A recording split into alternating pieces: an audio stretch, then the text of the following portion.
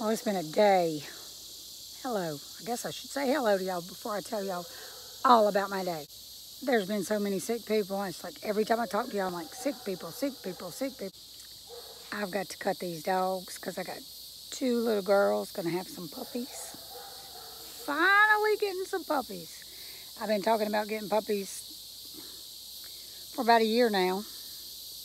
I'm finally going to get some here at Dueitt in the Kitchen. We're to have some puppies. It's about time, ain't it? In fact, see. Today's the 14th. Today's Corey's birthday. Happy birthday, my baby. Love you. And two weeks, well, the 25th, it'll be Maddie's birthday. That's, well, here's my two little girls. Come here, Betsy girl.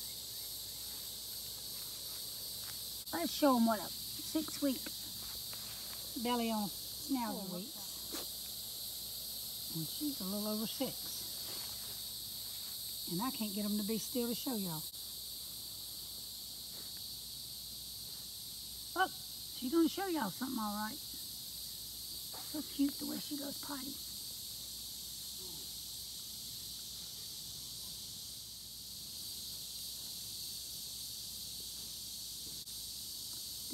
Come on, Maddie girl.